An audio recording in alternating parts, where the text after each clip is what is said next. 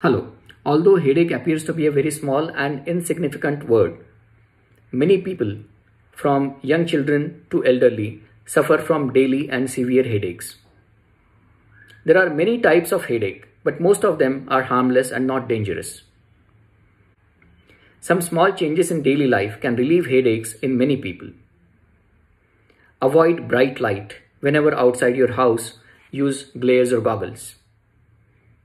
Avoid screen exposure to phone, laptop, computer, TV for more than 2 hours at a stretch. After that, rest your eyes for 10 minutes. Avoid fasting of any kind. Avoid fad diets where you drink a lot of water or no water at all or any similar excess of any kind. Unless you consult your doctor, don't start any diet. Stop all unnecessary medicines. Many times medicines themselves cause a lot of headaches. Even painkillers may relieve your headaches today but they may cause more headaches tomorrow. 6 to 8 hours sleep is essential for everyone, so make sure that your sleep is disciplined for at least 6 to 8 hours.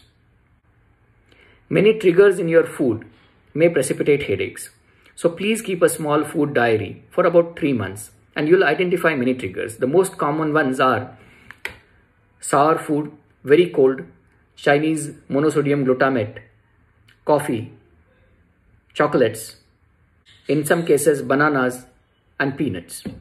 You may have a different trigger, but if you find a trigger, your headaches may be reduced. Please avoid television shows where the anchors shout aloud and tell a lot of bad news because those have become a very common cause of headache now. Although most types of headaches are harmless, there are some signs which suggest that you should obtain an expert's opinion as early as possible. These are a lot of vomitings, headaches which are very severe, acute and pulsatile, if you have double vision, if you have ringing noise in the ears, if you have slurring of speech, imbalance, vertigo or giddiness, spinning sensation, then you should consult your doctor as soon as possible. Most headaches improve with short courses of medicine. In some cases, long-term treatment might be required. Wishing you a very happy, headache-free life. Thank you.